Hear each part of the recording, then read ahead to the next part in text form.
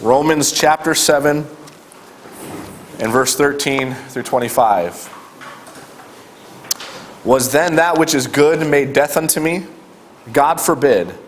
But sin that it might appear sin, working death in me by that which is good, that sin by the commandment might become exceeding sinful. For we know that the law is spiritual, but I am carnal, sold under sin. For that which I do, I allow not. For what I would, that do I not. But what I hate, that do I. If then I do that which I would not, I consent unto the law that it is good. Now then it is no more I that do it, but sin that dwelleth in me. For I know that in me, that is in my flesh, dwelleth no good thing. For to will is present with me, but how to perform that which is good I find not. For the good that I would, I do not, but the evil which I would not, that I do. Now if I do that I would not, it is no more I that do it, but sin that dwelleth in me. I find then a law, that, when I would do good, evil is present with me. For I delight in the law of God after the inward man. But I see another law in my members, warring against the law of my mind, and bringing me into captivity to the law of sin which is in my members. O wretched man that I am, who shall deliver me from the body of this death? I thank God through Jesus Christ our Lord. So then, with the mind, I myself serve the law of God, but with the flesh, the law of sin. Let's pray. Father, we thank you for this time, and may we ever be mindful of the absolute privilege it is to be a part of a local assembly.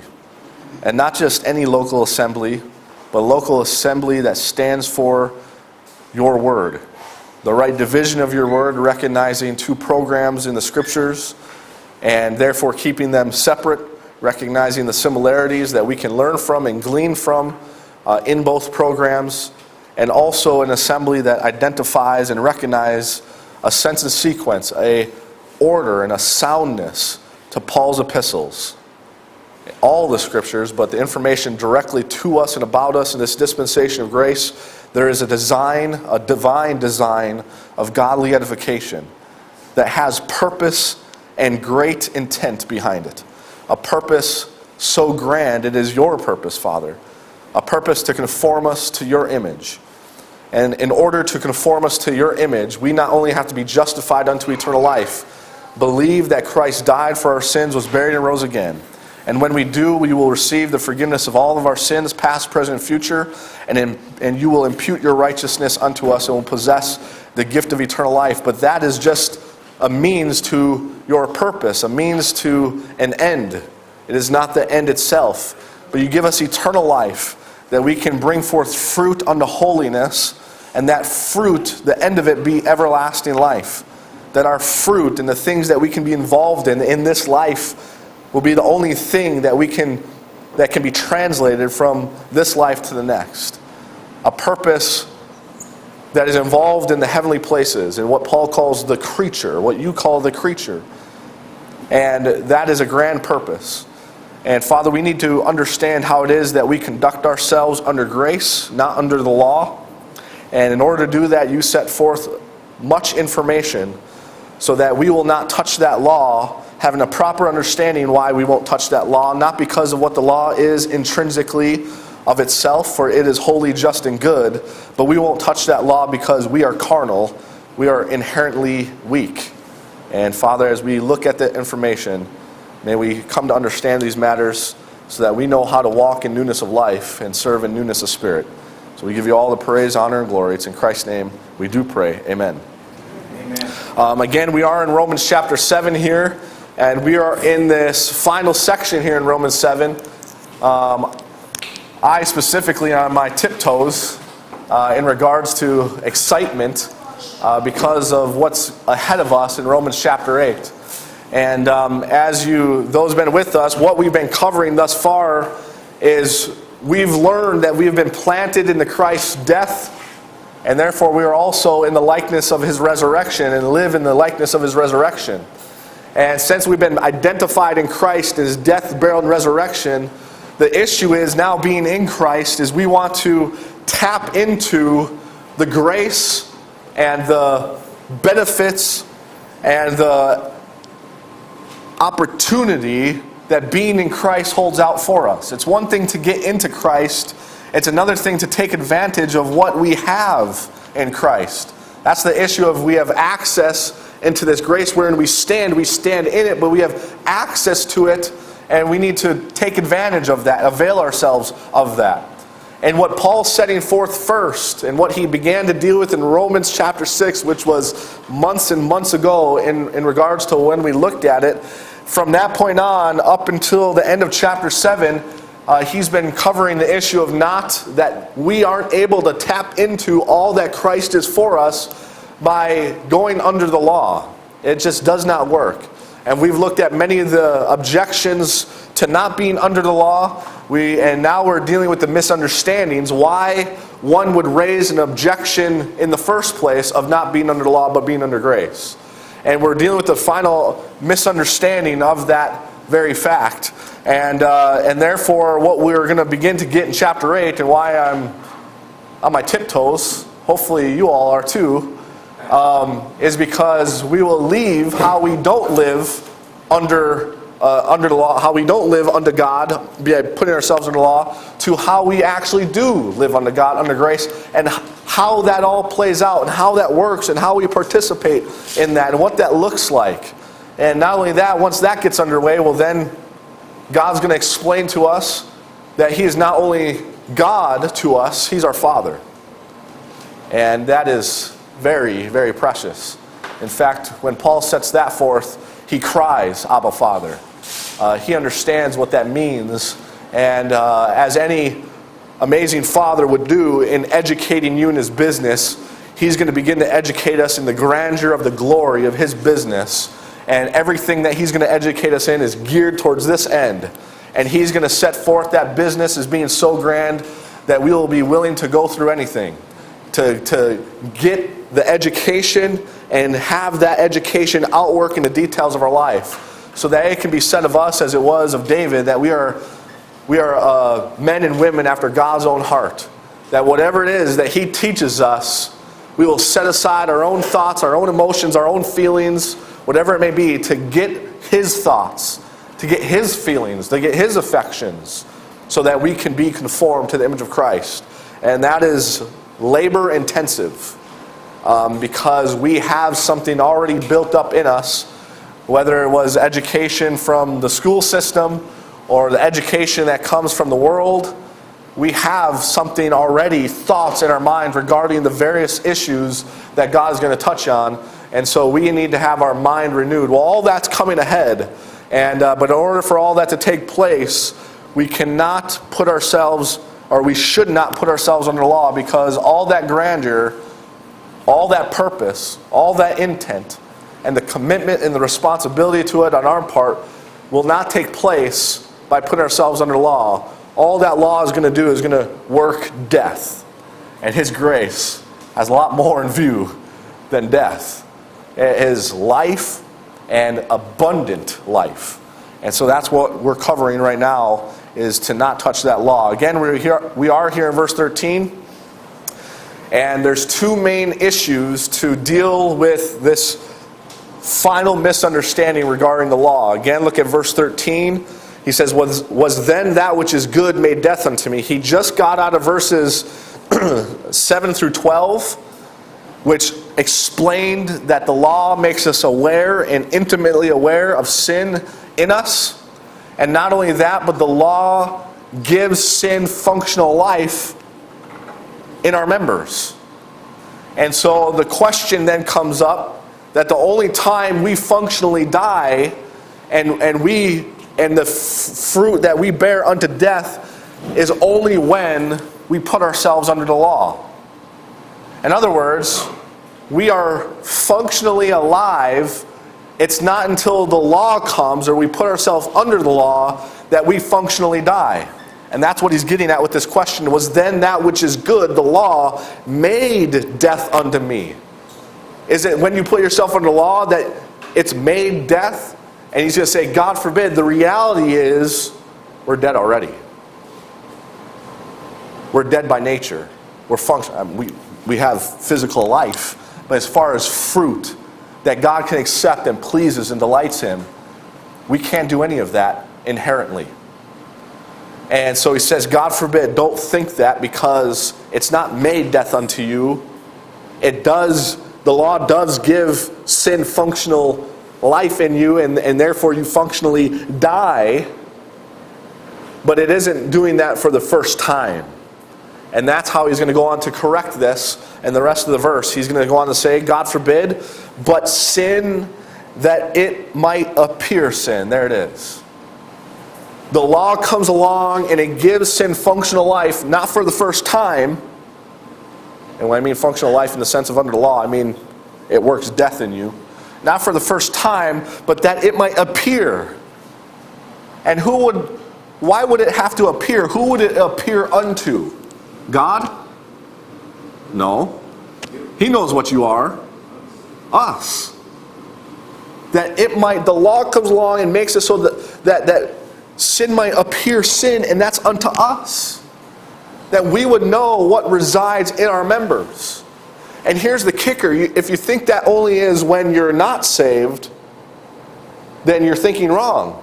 Because the reality is, it's still going to do that when you are saved because you still have sin in your members, and therefore the law is going to call upon your sin. It only recognizes the sin in your members, it does not recognize who you are in Christ. It doesn't come along and say, Oh, you're dead to sin, alive unto God, now you can keep this law. It comes along and it recognizes sin in your members, and what its design and what its function is, is to make sin appear sin. And we looked at that word appear. That's that conclusive, it's not a vagueness. You don't use the word appear to describe clarity and conclusion. You use it to describe, or, or, or uh, that, that's what you use it for. You use it to describe clarity. And if you, if you say shown or, or something like that, that has all, there's a vagueness to it. Appear is that it becomes evidently apparent and clear to you, it appears sin. It appears for what it is. And so that's the first way in which he's going to correct this. But sin, that it might appear sin, working death in me by that which is good. It's again, it's not the issue of for the first time it works death in you, because death has always been working in you, but it's doing that to a greater degree to make it appear to you. And that's the first part of corrective doctrine. Sin is in my members. Uh, sin in my members is what makes me functionally dead, and the law brings that to my full attention. But there's another part of corrective doctrine to all this. And the rest of verse 13, he says that sin by the commandment might become exceeding sinful. And that's the issue of when I try to use the law to control sin, sin always exceeds it. And again, I have to remind us the context that Paul is dealing with is he's utilizing, and what he's going to do, he did before, and he's going to do it again, he's going to utilize himself. Not as an unbeliever, but one who is justified and sanctified, who has eternal life, who has a grand hope. Paul went through trying to live unto God by putting himself under the law, and this is what he came to. This is what he found. This is what he learned. That when, as a believer, he put himself under the law, sin was made, was made appear sin, and sin exceeded any best efforts that he had to try to do it himself and functionally live unto God and bring forth fruit unto holiness unto himself. Sin always exceeded that and it became exceeding sinful. He became full of sin. And what Paul's going to do is he's going to prove those two components. He's going to prove that first component there, but sin that it might appear, sin working death in me by that which is good, in verses 15 and 17. And then he's going to prove the corrective doctrine of the second part there in verse 13 that sin by the commandment might become exceeding, exceeding sinful in verses 18 through 25. And what we've been dealing with in the past couple weeks Not really, because I've been reviewing some of the fundamentals of what we believe at Twin Cities Grace Fellowship. And also, there's some newer folks that I wanted to make sure that they understood uh, where, where, where we're at as far as the book of Romans and those things. But we need to look at and began to look at verse 14. And we've already covered the first part there when he says, For we know that the law is spiritual. Uh, I'll give you a pop quiz this morning. You didn't think you were going to get a pop quiz. What is the, the, what is the radical root issue of spiritual? There's three parts to it. Who remembers? If something is spiritual, what does it do or what is it made up of? What's that? Your spirit. It affects your spirit. It affects your mind. That's the very first part of something that's spiritual. When something's spiritual, it affects your mind. It gets into your head to have you start thinking about something. What's the next thing it does after that?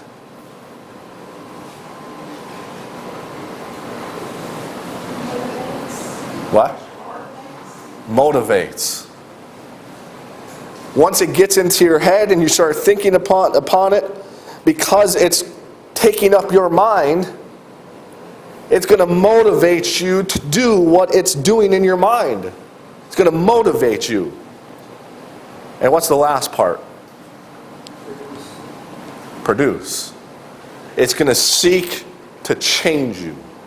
It gets into your mind it has motivating power. This is the radical issue when you talk about spiritual, okay? There's different contexts in which you got to further define it because of the context, but because this is really the first time we went back and looked at uses spiritual before, but the first time in the context of, of sanctification, really, they brings it up. We're looking at the, the very base root issue. And something that spiritual affects your mind, it's, it's designed to motivate you and it therefore seeks to change you. And we gave the example whether you come out of a, a movie, a very inspirational movie, or you are in front of uh, an inspirational speaker, that's what they're going to do. They're going to, through words or through action and through emotional appeal, whatever it is, try to affect your mind, usually contrary to what is normal to affect your mind, to motivate you for change, to do something. Um, usually, the political candidates are pretty good at this. And not just one, they're all good at it. That's what they're designed to, that's what they do. They're trying to affect your mind and motivate you to their end and actually see to its fruition. That's, what, that's the issue of spiritual. Now, as Paul says, we bring that back into the verse, verse 14. For we know that the law is spiritual.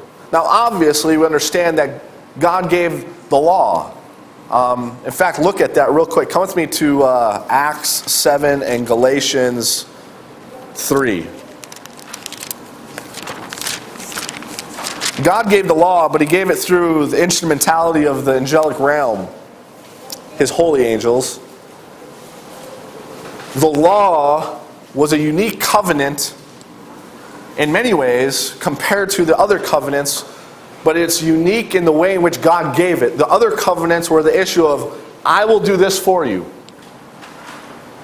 And because it was the issue of God doing it for them, there was no need for, it was, it was just a one party covenant as far as the action the other party was just the recipients. But the law covenant is not God necessarily acting, it's man acting for God. And in order to recognize and to signify the uniqueness of the law covenant, he did some things in contrast to the other covenants. And one of those is he let the angelic realm handle the law and ordain the law. Look at Acts chapter 7. Stephen's indicting the nation of Israel here. And look what he comes to in verse 51. He says, Ye stiff necked and uncircumcised in your heart and ears, ye do always resist the Holy Ghost. As your fathers did, so do ye. Which of the prophets have ye not your fathers persecuted, and they have slain them which showed before the coming of the just one, of whom ye have been now the betrayers and murderers? And look at verse 53 who have received the law by the disposition of who? Angels, and have not kept it. The angels were very involved in the time before Mount Sinai and Mount Sinai, and even after that, but they're involved in Israel's program. And part of their involvement was in, in regard to the law. Uh, if you remember, when God supplied the nourishment for the Israelites, for the Hebrews in the wilderness, He gave them what? Manna, which is basically angel's food, angel's bread. And so they're involved in, in, in uh, God's time past deals with the nation of Israel. Look at Galatians chapter 3. And let's pick it up here in verse 19. Paul again is talking about the law. He says, Wherefore then serveth the law? It was added because of transgressions. That's breaking of, of God's commandments. Till the seed should come to whom the promise was made. And it was ordained by who? Angels in the hand of a mediator. In other words, you had God on one end, the nation of Israel on the other hand, and on God's end, the mediator was the angels, and on the Israel's hand, the mediator was Moses. And you had this way of which the law was given to show and stipulate the uniqueness and the contrast of this covenant compared to the other ones.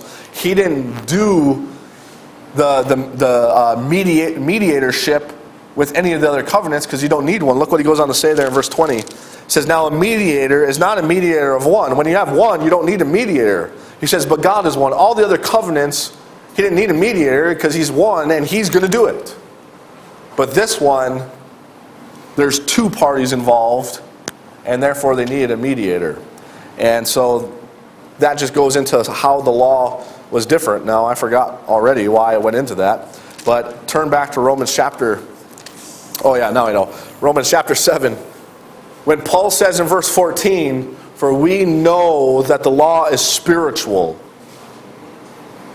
Even though the angelic realm was involved in ordaining the law, it was allowed by and, and, and God was involved in the giving of the law. And therefore, it intrinsically is spiritual. Anything that God really does is going to be spiritual. It's, it's going to affect your mind, it's going to have some type of motivating power, and it's going to seek to change you.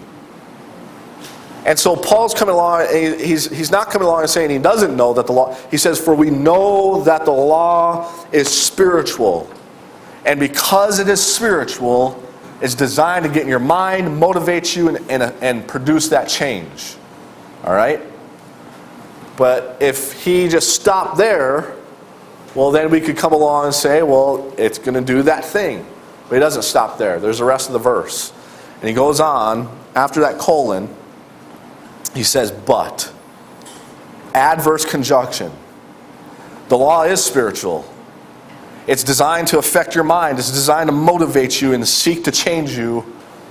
But we, but I am carnal. I love how Paul puts himself in here. I, I read, but we are, and that's true. But he says, but I am carnal, sold under sin. Now you might be thinking, Paul, how how can you say you're sold under sin? Aren't you dead to sin, alive unto God? Yep, come back to chapter 6. Chapter 6, verse 11.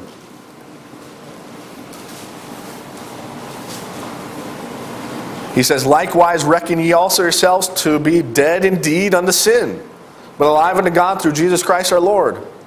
Then look what he goes on to say. Let not sin therefore what? reign in your mortal body. Is there a possibility for sin to reign in you? Then he goes on and he says, verse 14, For sin shall not have dominion over you, For ye are not under the law, but under grace. What help? That's, that's where God has placed you. What happens if you put yourself under the law? What are you going to give sin? Dominion. You're going to give it dominion. It's going to have dominion in your life. That's it was it was designed to do before, and that's its design still now. Again, if we if God when we were saved, and if our sanctification involved the eradication of sin from our members, that's a different story. The reality is sin is still in our members. And so when that law comes into play, again, it's not coming along and recognizing, hey, you're dead to sin, alive unto God. Remember, when we talked about the issue of being dead to sin, we're not dead as far as physically dead or anything, nor is the sin dead. Sin still has power. The issue is, is our unity in our relationship that we had with sin and its mastership over us. That has changed. We're dead to that relationship, but it still exists. And if we put ourselves under the law, dominion, sin, it's going to give sin dominion again. And that's what he's calling, that's what he's hearkening to in chapter, or, um, verse 14 of chapter 7. But I am carnal, sold under sin. Now, we are carnal by nature. In fact, that's what carnal means. Again, it can mean different things in different contexts, but in this context, the root Again, that's what I have to get to in this context. The radical root issue of carnal is you are inherently weak. And I got to stipulate this. When I say, and when the scriptures teach inherently weak, that's not coming along and saying, okay, out of 100%, if we're under 50, then we're weak. We still have 40%, 30, 20, based upon who you're talking about, maybe 1%. Maybe some people are better 49%. We're just not 50 and above, because then we're no longer weak. We have some strength to us. In other words, you can't come along and say, okay, we're 40% weak, and the law comes along and supplies the other 60%, and we're good to go. When he says you're inherently weak, you have no capacity in and of yourself, ourselves, to live unto God. And therefore, that law doesn't come along and change you because it can't change you. Because what was it supposed to do? Manifest your inherent weakness. And therefore, it's not the solution to the problem, it magnifies the problem to show you and make it appear to you that there is a problem.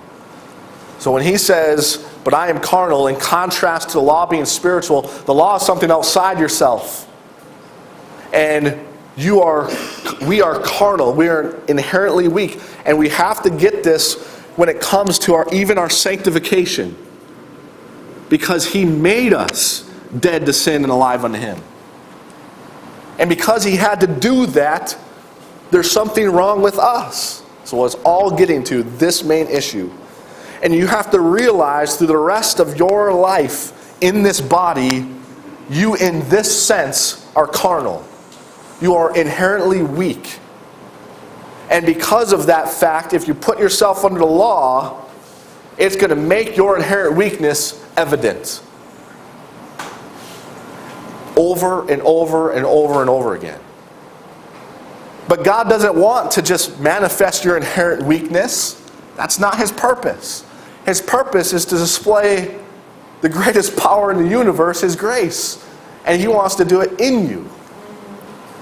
And so He's remedied this. He's provided us the provision that if we avail ourselves of it, we can walk in newness of life, serve in newness of spirit, bring forth fruit unto holiness, and, and be everlasting life. And it's going to be done even though we are active participants of it in it.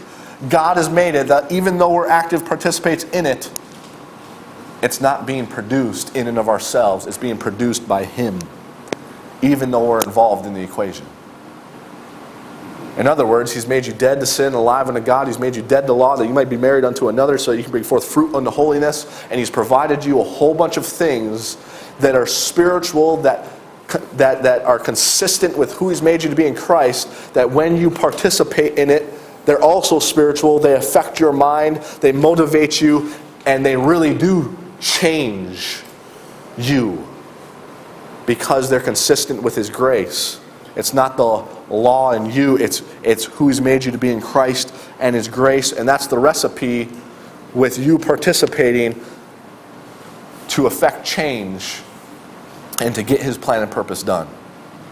And because it's that way, we can never come along, and especially with what we're being educated in now, come along and say, the merit goes to me. The merit and the glory and the honor always goes to Him.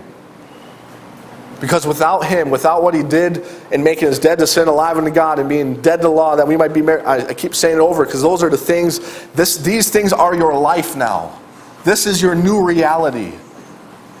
And they ought to become such a norm and standard in your mind and in your heart, because, just like sin was the norm and standard of life before we were saved. That's, this is what ought to become the norm and the standard. And so, with what he's done and, and giving us our new identity, that's just part A. Part B is now walking. We have to have something spiritual, but not the law, because the law doesn't recognize who we are in Christ. But His grace, that is also spiritual, is going to recognize our new identity and it's going to work together to produce the ultimate end and result as we participate in it. Now, I try not to do this, but I, I just got to do it. And I've done it before, so it might be just repetitious, but hopefully, as we go along and add more to it, that these examples that I do over and over and over again get a little more meat to them. But come with me to chapter 12. Romans chapter 12.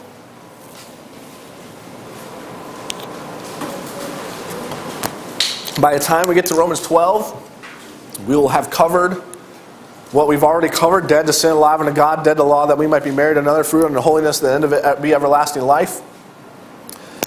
And learn that we're not supposed to go under the law, learn that God's got a curriculum and an education for us that's under His grace, that it's grace working in us, but that we are also participants in it because we have to walk after it. And that begins to get full underway here in Romans chapter 12. And look what he says here in verse 1. He says, I beseech you, therefore, brethren, by the mercies of God, that you present your bodies a living sacrifice. That's the issue of dead to sin, alive unto God. Holy, that's what we're going to learn in chapter 8. Acceptable unto God. So we're going to learn at the end of Romans 8, and as we come out of 9, 10, 11. And then he says, which is your reasonable service. And now look what he goes on to say.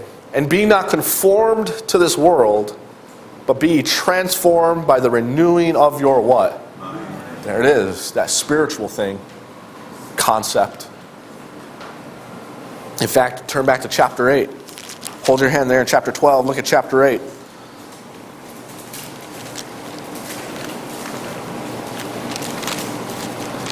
Romans 8, look at verse 5. For they that are after the flesh, that's the issue of trying to live under God under the law. They do what? Mind the things of the flesh. Well, yeah, the law is spiritual. So that they're going to be minding those things. But that doesn't recognize, again, who you are in Christ. That just recognizes sin in your members and not the change that God has made within us. And then he goes on and says, But they that are after the Spirit, the things, and they, that, that's the issue of they mind the things of the Spirit. For to be carnally minded is death, but to be spiritually minded is life and peace. So the issue is that what we're going to be involved in under grace, and as the Spirit leads us, and as we walk after Him, it's going to still affect our mind, but it's of a greater power because of something that God's already done within us. Look at chapter 12 again. It says in verse 2 And be not conformed to this world, but be transformed by the renewing of your mind, that you may prove what is that good and acceptable and perfect will of God. Look at verse 3. For I say, through the what? Grace, Grace given unto me, to every man that is among you, not to what? Think of himself more highly than he ought to think. Now, the very first thing we get here in chapter 12, verse 3, coincides with everything that we've got in chapter 6, 7, 8 in regards to how we live under grace is it's going to affect our mind to the greater degree than the law could ever do because of our inherent weakness. It always just makes our inherent weakness appear and it becomes exceeding sinful. But His grace deals with sin, actually restrains sin, and it's going to manifest the righteousness, the holiness.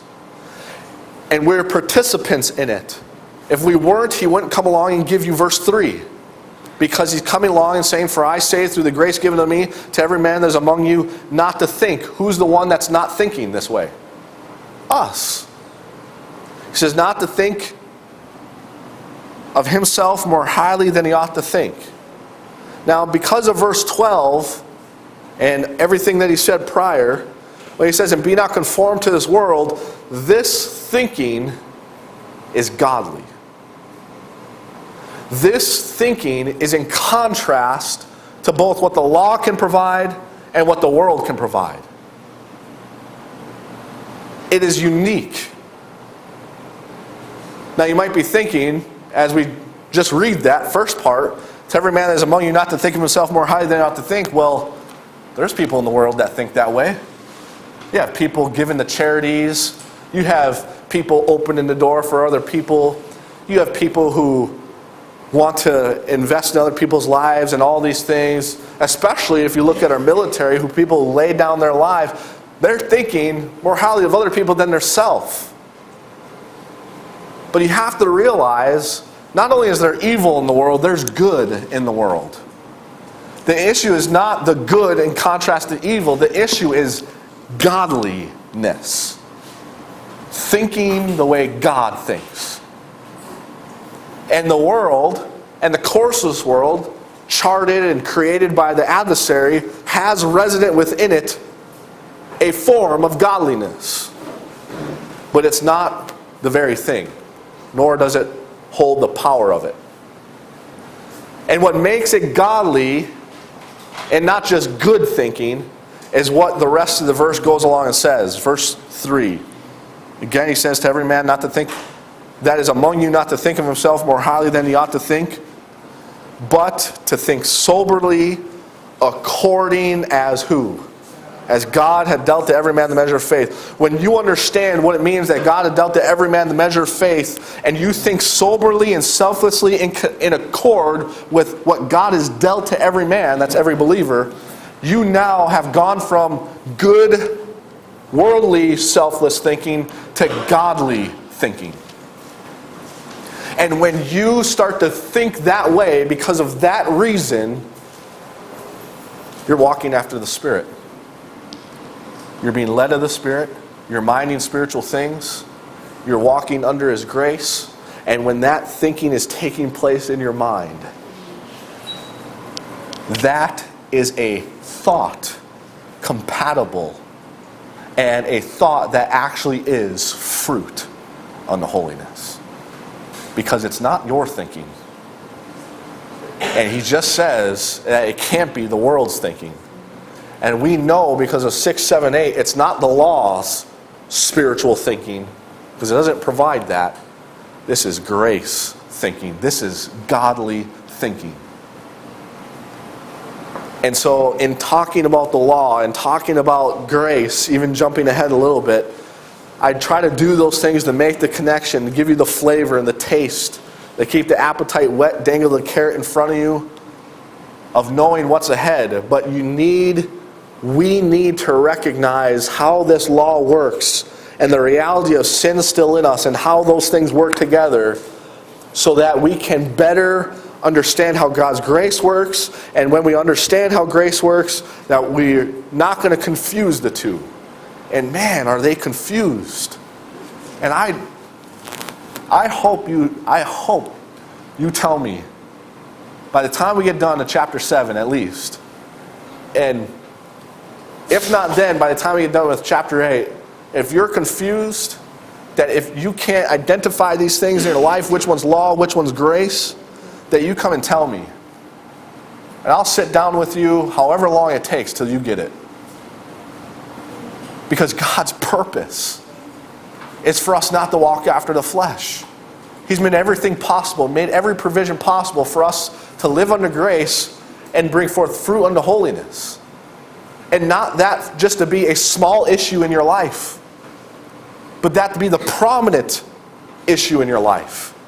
And for you to know that it's taking place. God hasn't designed this for it to be vague. You can see what He did with the law. With sin in you, with that law, He wanted to make it appear. Well, why wouldn't He do that with His grace, with who we are in Christ? He wants to make who we are in Christ dead to sin and alive unto Him. He wants that to appear by our thinking and the conduct that comes from that thing. He wants to make it evident. Not evident of your salvation, evident with your sanctified position. He wants to put His grace on display. That's where we started in chapter 6. Look at chapter 6 again.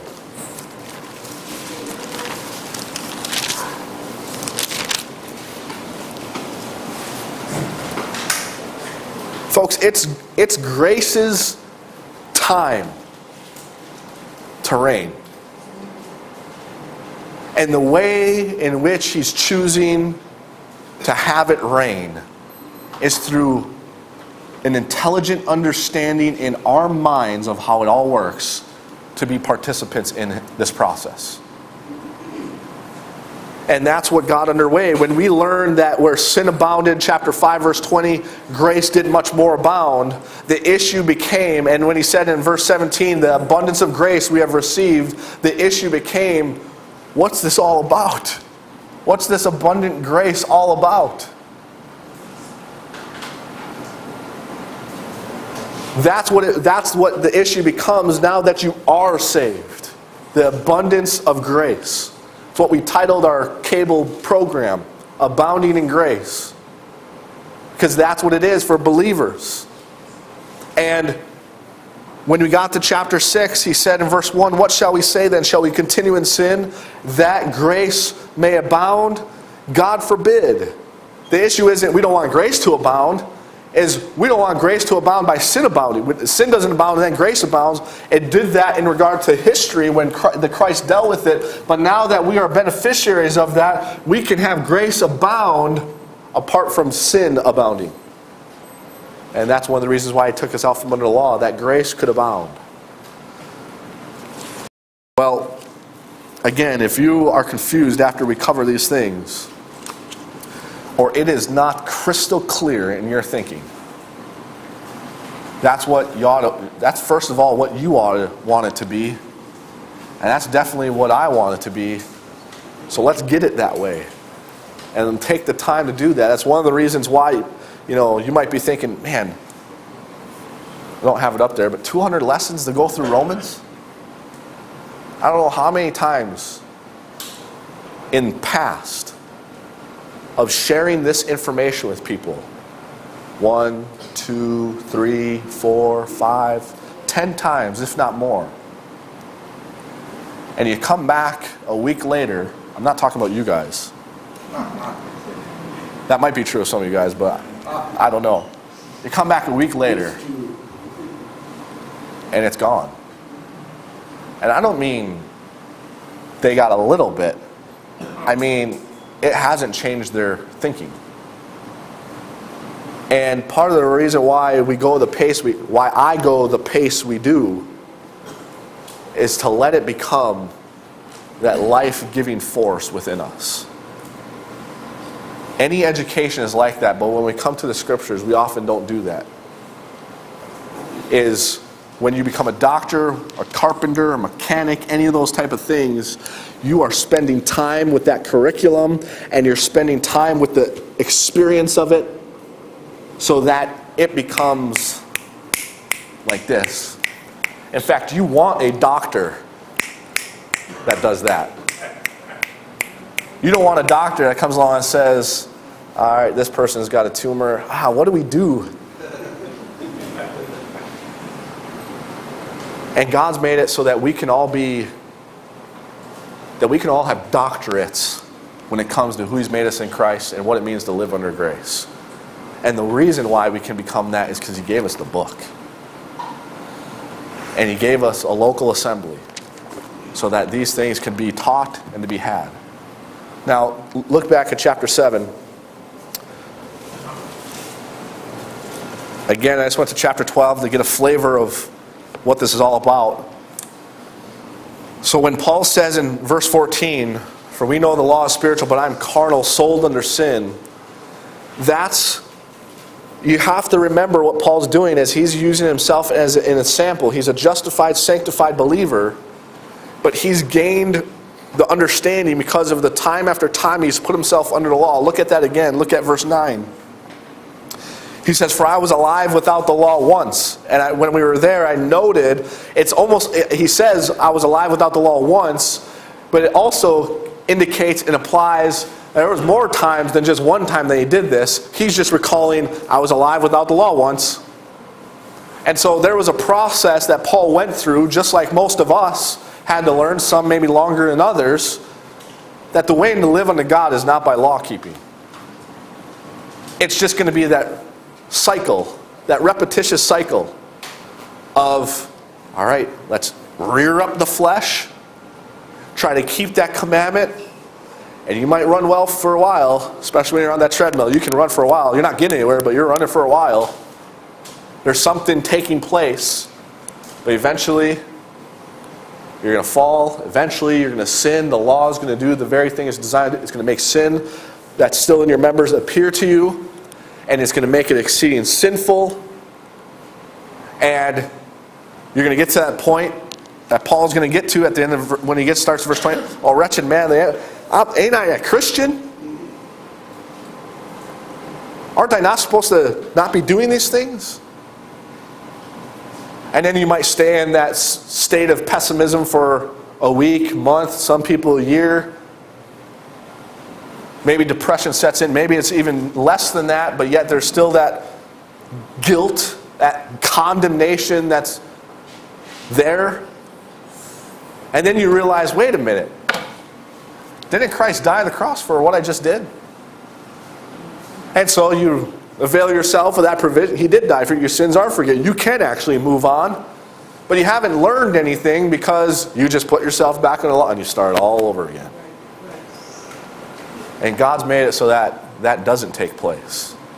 Not that we aren't going to sin, but that we don't get on the exceeding sinful bandwagon and have a sin appear to us. We're still going to sin, but we are going to be able to, one, restrain it in more times than before, and hopefully that increases. You're never going to be sinlessly perfect, but hopefully that becomes more of your life and ability as you take who God's made you to be in Christ and the further things of the Spirit that He's going to give you to restrain sin and not just restrain it and come along and say, well, what do I do now? But actually do the righteousness, actually do the bear the fruit unto holiness. And that's what that's how God's made it to be. But if you put yourself under the law, you give sin dominion. And that's what Paul's doing. He's the ensample here. He says, But I am carnal. And as he's talking about being under the law, he says, sold under sin.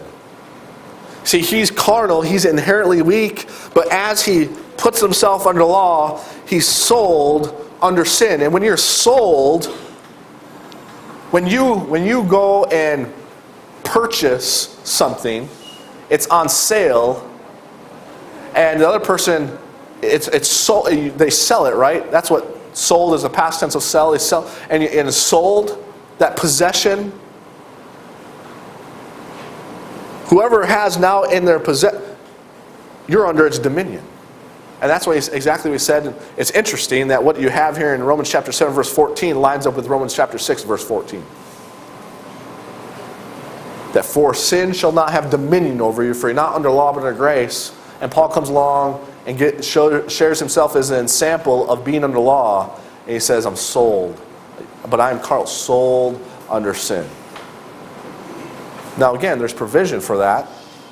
But that's the state we can be in. Now, there might be more thinking. This may be not that crystal clear in your mind, so I want to try to draw it for you. I always get really nervous when I'm drawing something because I don't, it, it's, it's that balance of I could make this more confusing or I could make it clear. So if it starts to become confusing, just do, do me a favor, close your eyes, and, and we'll go from there.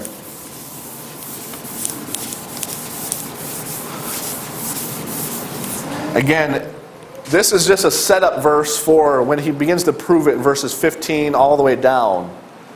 Um, but I think it's important just to recognize this so we keep it in its, its context, okay? Now, I'm going to draw two figures here, but you have to imagine this is really just one, all right? This is really just one figure. I'm trying to represent the carnal aspect and our new identity, but that we are both carnal, inherently weak, and we both have a new identity in this same body. Okay? So I'm trying to signify that. Now, let's deal with it this way. Before we were justified and sanctified, we were alive to sin and dead unto God. All right? Part of our identity, alive to sin and dead unto God, not only was that our identity, but we actually we had, and we still do, sin in our members. That was the outworking of our identity, right? We're dead, we're alive to sin, and therefore what we produced was sin. It was in our members, and that's what we that's what we produced. When we became justified and sanctified, that changed, and we learned that in Romans 6 there, that we are dead to sin and alive unto God. So that changed but something didn't change sin in our members.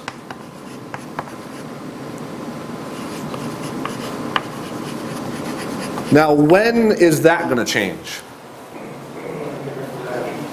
A rapture, when you get a new body, right? Sin will finally be taken out of these bodies. And we'll get a new body. What glorious day will that be? But in the meantime, God's given us the provision to manifest His grace that it's greater than sin that still resides in us. And that is able to be put on display by us because, one, He made us dead to sin and alive unto Him, and, and much more. But here's where the rub comes in. Here's what we've been dealing with. When we, before we were justified and sanctified, tried to either earn our justification and our sanctification and all those things by doing the works of the law, as we've been learning in, and also Romans 7, and we learned prior in Romans 3 and those type of things, that the law makes this what? Alive. And, and it makes it appear, right? And exceeding sinful. For us to be conclusively aware of what is in us. But what I want you to see is that law, it bypasses this. It bypassed our identity before, that we were alive to sin. It just bypassed that, and it's like it went right to sin in our members, and it made it work. It was the motions of sin. Now it does that same thing now that we're over, we're over here, as it were, under, and you put yourself under the law. That law, what it's going to do is it's going to bypass your new identity. And because sin is still in your members, it goes right there. And it goes right to work. And that's the parallel. Over here, sin had dominion over us. Not only in a practical manner, but in this, in an identity manner, we were alive to it. God's initial grace for us changed that identity, made us dead to sin. And it also is going to, his, we're going to be under grace, it's going to deal with this. Okay? So there's provision for both. But when the law comes in, both here, it makes it appear and it comes exceeding sinful. And as a Christian, when you put yourself under the law, it bypasses your new identity and it starts working in this. What ends up going to happen is it's going to seem like you're back over here. Remember, your new identity, you have to reckon that to be true. You don't feel it, you don't experience it. Um, when, when, when you get it in those type of things, you don't sense it, you got to reckon it, you got to take God's word for what it is and say, that's true, that's my new reality. But you don't come along, you don't have a outward certificate saying you're dead to sin, alive unto God, or any those type of things that God gives. It's something that's on the pages of God's Word, and that we have to believe inwardly that that's actually what took place. And we're well acquainted, talking to Brother Mike before this, we're well acquainted with sin. We have been doing that for all our lives before we're saved. And so when that's when sin happens, especially under that law, it's going to seem like you're right back over here. In all reality, you're not back over here. You're not alive to sin and dead unto God. You're still dead to sin, alive unto God. But the law, because it bypasses all of that, it just focuses on sin in your members. And therefore, it's going to appear to you. That's why you're going to. When the law came into play over here and started working on sin in the members, when it made it appear, it was making, appear, making this appear that who you are inherently. God has made it so that you're focused on who He's now made you to be. And so, but if you put yourself in the law, it's going to appear you're going to become exceeding sinful. And folks, that can all take place. And because God changed this, this identity, you can still be a Christian. When you live under the law, it deceives you. Exactly, that's what we learned. Yep. That's exactly what it's doing. Part of that deception, when it starts working in, with sin in our members, the deception is having you think that you're here, that you're still in this predic- you're still in this predicament, when you're not. You're over here. Uh, it deceives in a whole host of ways, but that's one of the ways it deceives. Yep. Does that make sense? All right, because what Paul's going to be talking about, he's not talking about over here under the law and sin period and those type of things. He's talking about as a believer. And he when he talks about the issue of sold under sin there, he's not talking about this changing. That can't change. He's talking about this and that increasing, that appearing, and that basically working more than who He's made you to be in Christ. Because your focus and what's working is sin in our members. Now, not only did God change our new identity, right? May it's alive in God, but the remedy, the ultimate remedy for sin in our body is obviously a new body. But in the meantime, the remedy for sin in our members is our new identity. See, the law bypasses all that. God deals with that, and it's that very thing that the law bypasses, which is why it's weak. It bypasses all that. Our new identity deals with that sin in our members, as well as, and grace is going to come along as we're under it, as we walk after it, and it's going to continue to weed out and deal with sin in our members. Any questions regarding that? Mike? It changes your thinking. When you, when you under the law, you're not thinking about what God is doing you and how it affects you and all of that. Your thinking is about you're breaking the law. Yep. And, and what you said about you go back under that, just almost the same as before you got saved. You start to think, well, nothing's changed. I'm still Yeah. that same especially to a person who is brand new. Yep. He thinks nothing's changed. Yep. Yep. Exactly. Great comment. Like I think like ninety-five percent of Christians do this. Yeah, that's that's They- that's. they- They, they become born again, they accept Christ, and they, they come out of the gate and then they just stand there. Yep. yep. And the and the job that we have, the job that we have is we have to recognize and be sensitive with that. He brought up that that's the way most Christians are, and probably most of us had come from that back. And you have to remember who's the one utilizing himself as an example here, Paul. So this is something that is not. This is this is instruction. Instruction is information you don't innately know. And he knows the law is spiritual, but I am carnal. But when you become a Christian, you, you, you learn these things.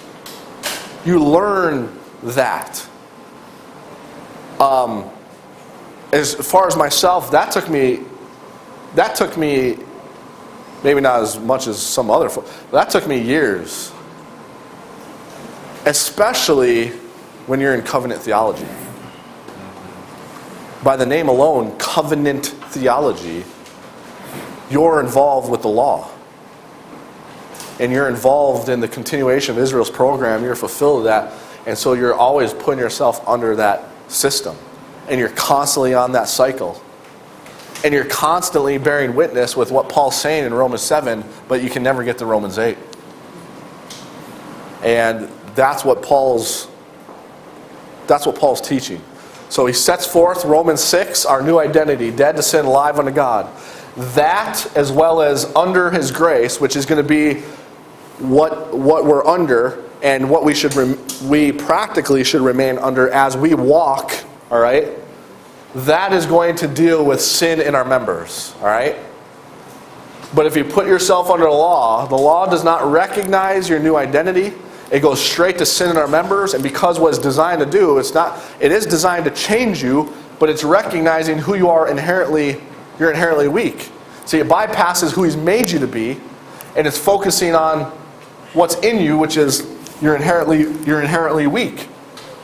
And what it does then, it makes it a sin appear, it becomes exceeding sinful. You bring forth that fruit, fruit unto death. And so Paul's to, and that's, that's he's going to get to it, that old wretched man concept.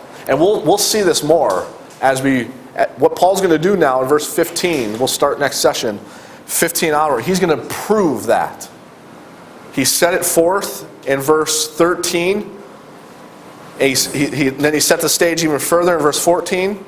And now he's going to prove it. And what we have to remain in the context of is, is Paul is a justified, sanctified believer, but he's not, he's not comparing the old nature to the new nature. Okay? He's not comparing the old nature to the new nature, that once he's out and then he's in and out and in.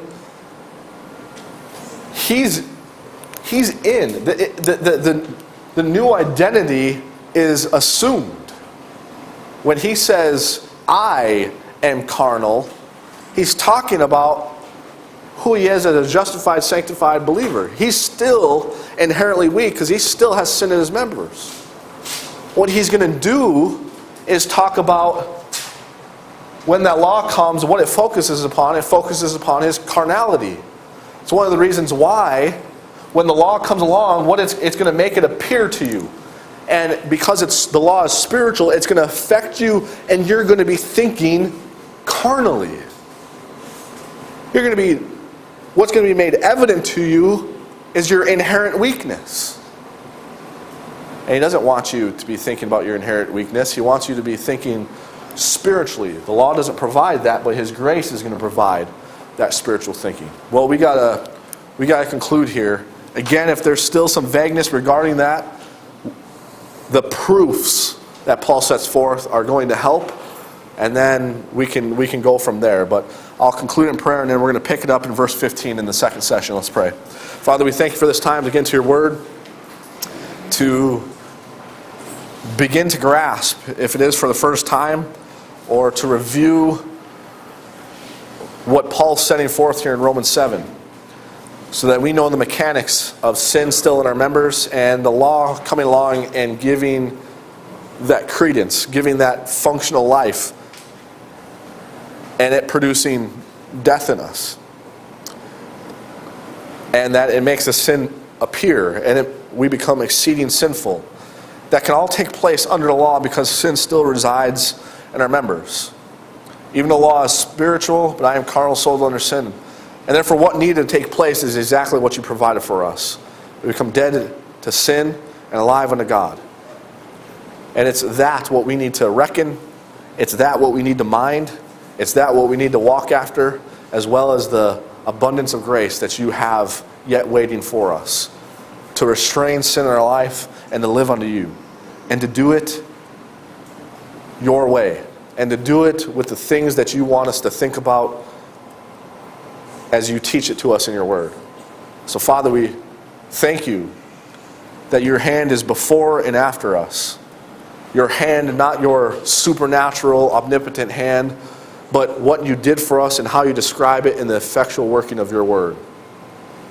And therefore, we can learn these things and actually live under your grace, actually bear fruit unto holiness and actually not experience the condemnation that is so experienced by Christians when they put themselves under the law. So, Father, we thank you for all the provisions that we've become beneficiaries of because not who we are, not because of what we've done, but because of your Son, the Lord Jesus Christ. Father, I do pray if someone here listening again, the very first thing that they need to get settled is dealing with the accumulation of their sin and who they are by nature. And the way in which they do that is by believing in the cross work of the Lord Jesus Christ, how that He paid for the debt penalty of their sins, was buried and rose again to offer that payment to them as a free gift. And the way in which they receive this free gift of salvation from the debt and penalty of their sins is by faith and faith alone. The moment they believe, they'll have the forgiveness of all their sins, past, present, future. They'll have your righteousness imputed unto them, and they will therefore possess the gift of eternal life. May they believe this very moment.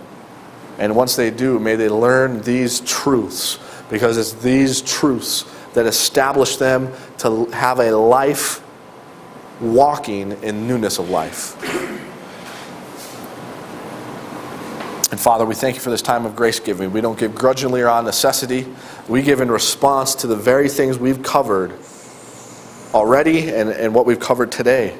We give in response to your grace and the provisions you've made so that these things can be continued to be taught here, that they can exceed these walls, and that we can sustain as you give us this privilege as adults to sustain the abundance of grace, to see the victory over sin and death.